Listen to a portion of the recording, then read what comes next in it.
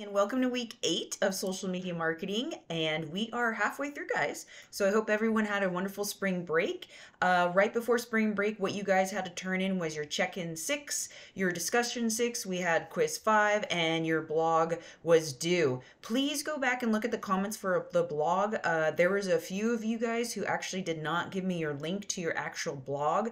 So once you give that to me, I can update your grade. Um, also, I think there was one or two of you who did provide a link, but the link link is not working. So please make sure that link is working and it's public. Uh, once I grade your blog, you can change it back to private all you want, but it needs to be public for me to view it and to grade it.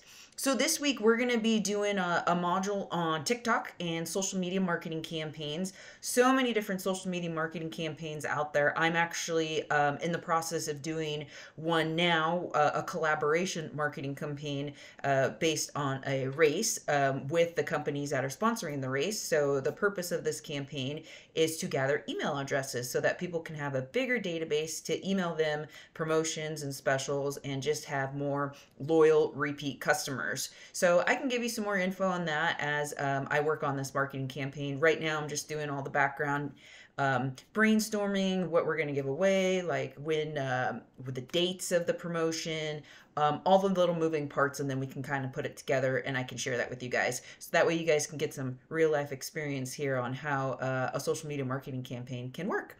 Um, so at the end of this week, you're going to have do your check-in seven, discussion seven, quiz six, and your social media examiner topic and outline. So this is just the topic and outline. Um, I don't need the whole thing but you must have this approved by me in order to continue with the presentation. Every once in a while, um, I'll have a student who didn't quite understand the assignment, so that's why I make you guys give me your topic and outline first before you put in all the work um, to make your presentation.